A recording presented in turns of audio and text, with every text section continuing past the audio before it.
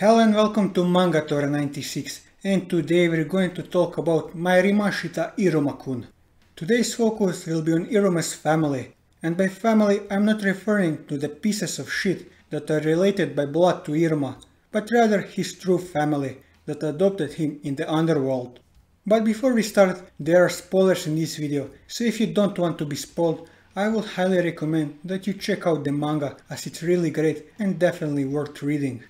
Now let's start with Grandpa Sullivan. Sullivan is the adoptive grandfather of Iruma and the principal of the Babyls Demon School. He is one of the three heroes, the most powerful and influential demons in society, and is a possible candidate for the new Demon King. Sullivan is mostly just a silly old man.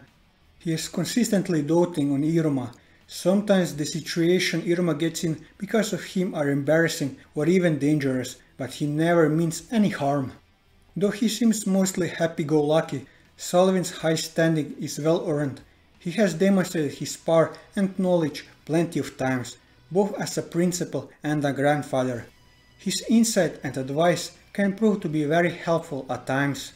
Despite his seemingly benevolent disposition, he does on occasion reveal a more menacing side to his personality, which startles whoever is around him.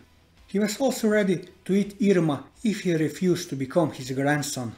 Very little about Sullivan's past is known at this point, however it is known that he is one of only three demons alive to have reached the rank of Yod putting him in the position of possibly being able to inherit the throne as Demon King.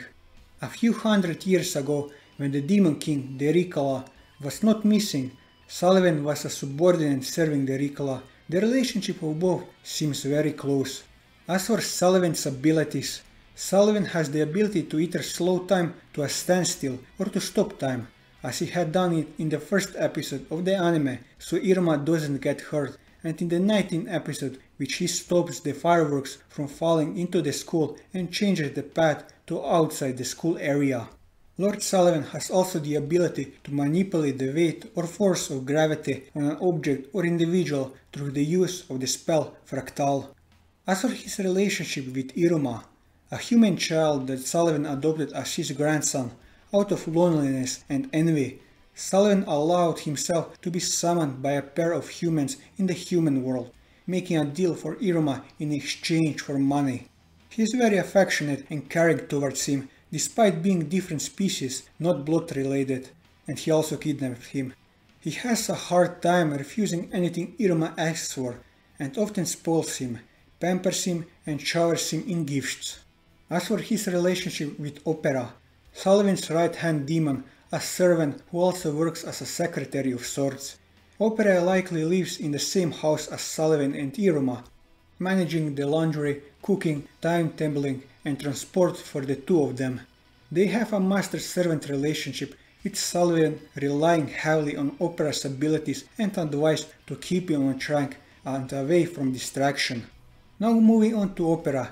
Yes, he is a servant, but nonetheless he is considered a part of the family. Also he has the desire for Iruma to become a great man slash demon so that in the future Opera could continue to serve Iruma as he now does to Sullivan. Opera is a servant working under Lord Sullivan and in liaison Iruma Suzuki. They are often seen preparing and escorting Iruma for school, assisting Lord Sullivan in his work. Opera's rank is currently unknown. Humorously, Opera was Kalego's senior during their tenure at Babyls as students and is the only person who Kalego genuinely seems to fear. Opera has a serious down-to-earth personality. They often act as a voice of reason for Lord Sullivan, but are usually ignored. They are mostly reserved with their opinion, but will voice the occasional concern or cynical remark and will sometimes dispense helpful advice.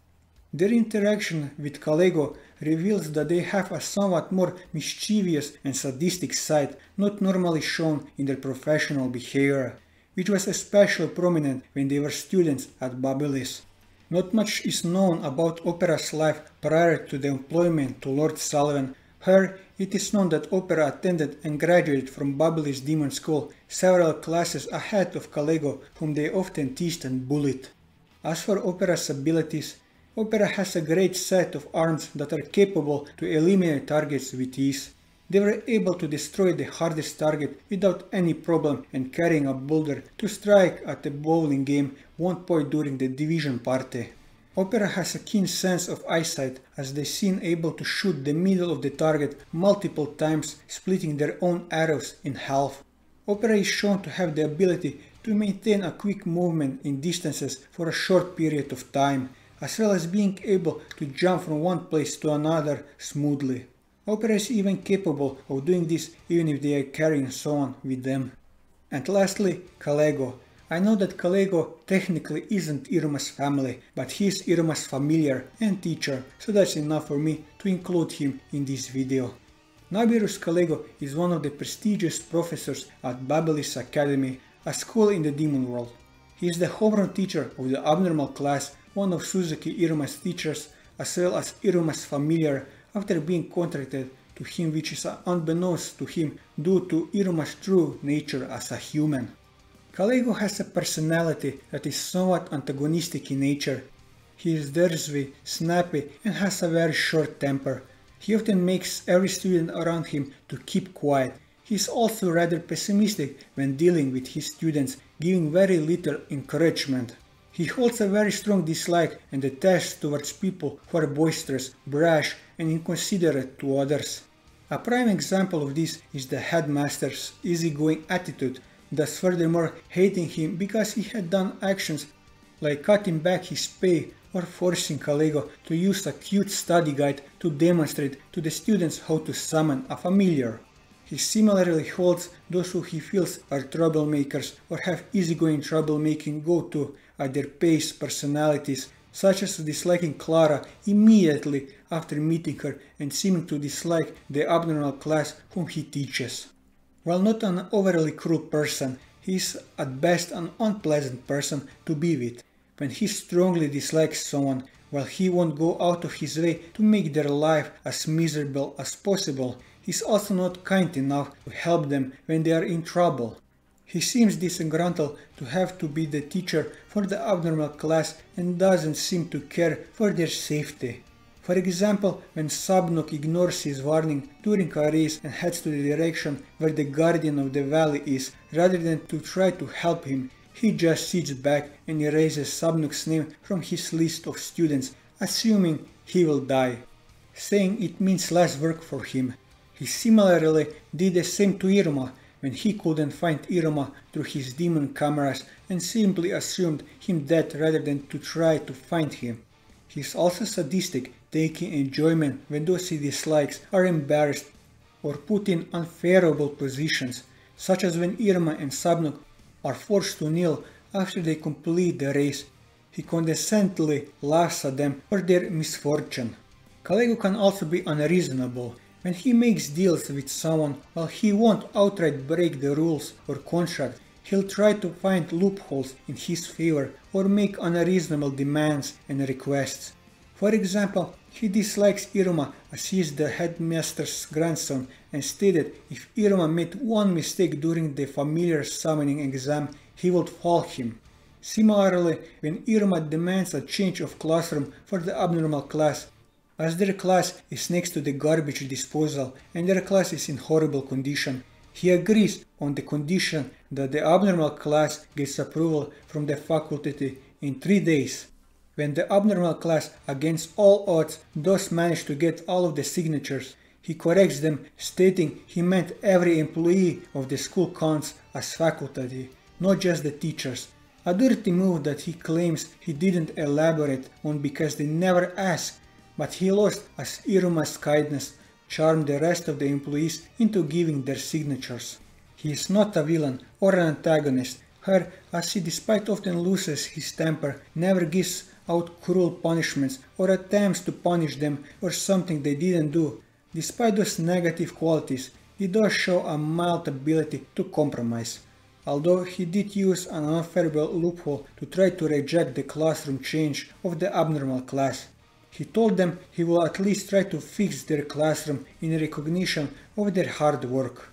He also has an odd friendship with fellow teacher Balam, who almost everyone else avoids due to his scary appearance. implying that while he is judgmental of others, he doesn't judge others based on appearance alone, though he does unfairly judge other people based on his own perceptive bias, such as towards Iruma. Despite this incriminating antagonistic personality, Kalego also known how to be terrified, which is a very contrast of his overall behavior. This example will be his attitude towards opera, his former upperclassmen when they went to the same school, and every time both are around, Kalego's pride and demeanor constantly change to whatever opera wishes for him to do or to be, much on his liking. Aside from distress from opera, Kalego has also shown a contrasting goodness of himself. He has a lot of integrity as a teacher and even with his usual antics, as a teacher himself, he doesn't back down his responsibility and in truth, he studies and learns about his students in great detail. In fact, Kalego himself wrote the school's guidebook for its teachers. He is also extremely attentive to his students, keeping individual notebooks full of observation for each of them and doing his best to give them each sinister praise and helpful feedback during his home visit.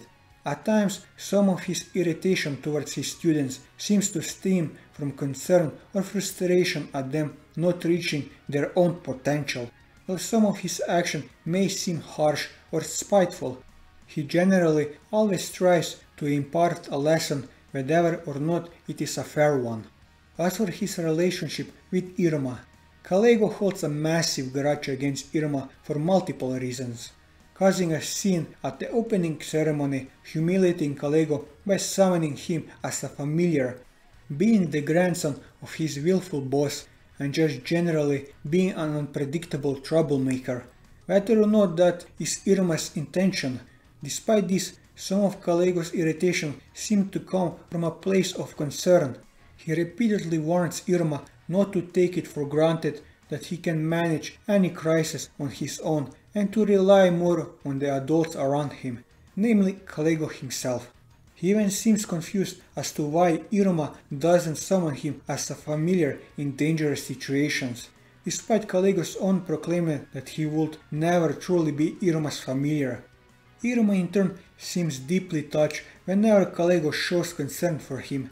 During his home visit to the Sullivan household, Kalego spoke his unbiased and honest opinion of Iruma as a teacher, praising Iruma's academic progress and saying that he believed that Iruma's will to overcome any challenge was his most precious talent.